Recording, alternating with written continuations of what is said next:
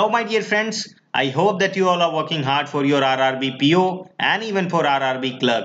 आज हम सब एक पैरेलल रो के पजल पे बात करने वाले हैं और यह पजल आपका हिंदी और इंग्लिश दोनों में रहेगा। ठीक है? जो हिंदी के छात्र हैं उनके लिए हिंदी में भी पजल है और बिल्कुल आपको अपना टाइम का यूज़ करते हुए ही इस पजल को बनाना है। और आप पजल को खास करके टेलीग्राम के ग्रुप पे पोस्ट कर दीजिए, आपका जो आंसर होगा, कहीं ना कहीं उससे कन्वीनियंट हो जाता है कि हाँ आपका आंसर सही है या गलत है राइट और मुझे उम्मीद है कि आप सब बिल्कुल यह करेंगे। आइधर आप टेलीग्राम टेलीग्राम के ग्रुप पे कीजिए या फिर फेसबुक के ग्रुप पे। आप फेसबुक पे भी पोस्ट कर सकते हैं, ठीक है?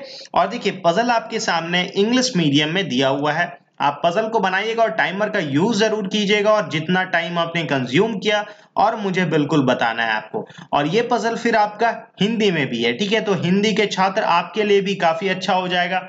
आप भी अपने टाइमर को यूज़ करें और बिल्कुल इस पजल को एक लिमिटेड टाइम में बनाने का कोशिश करें। और यह पजल मैंने आपके लिए आईबीपीएस पीओ के पॉइंट ऑफ़ व्यू से रखा है, ठीक है? होप सो कि आप बहुत कम टाइम में बनाएँगे और आपने जो टाइम कंज्यूम किया, मुझे बिल्कुल बताएँगे, ठीक है? और अपने और आप अपने आंसर को बिल्कुल टेलीग्राम पे पोस्ट कीजिए। आपने जो आंसर लाया, बिल्कुल उसका एक इमेज खींचिए टेलीग्राम पे डालिए। मैं आपके आंसर को सही है गलत बिल्कुल बता दूँगा। और हाँ उसके साथ साथ आपको टाइम बिल्कुल बता देना है, ठीक है? तो चलिए आप वीडियो को अभी पॉज कीजिए और बनाना स्टार्ट कीजिए।